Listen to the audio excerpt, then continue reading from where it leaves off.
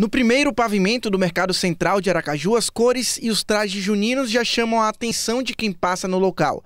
Por lá, a dona Jovita, com 58 anos só de mercado, esbanja simpatia e faz a propaganda dos trajes juninos que faz à mão todos os anos. Um trabalho que começa no início do ano e não para até passar o período junino. Janeiro até março eu costuro em casa, não trago para aqui não. De março em diante eu costuro aqui e costuro em casa. Tenho máquina aqui e tenho máquina em casa. Tem ajuda de alguém? Não, só a de Deus. Os trajes têm em tamanhos para bebês e adultos e custam entre 80 e 180 reais, a depender do material. A dona Jovita tem testemunhado a queda na tradição nos últimos anos, mas espera boas vendas com a proximidade do São João. Mal está começando, mal está começando.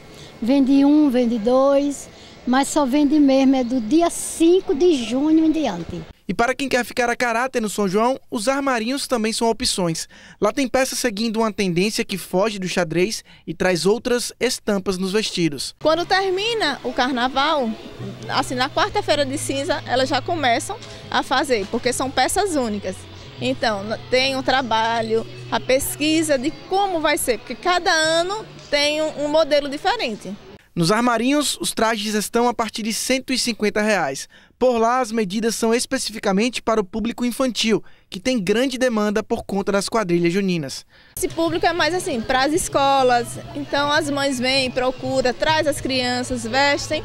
E no, no, em junho, que são as festas para o São João, aí elas já vêm, já vestem, já se animam para dançar o São João.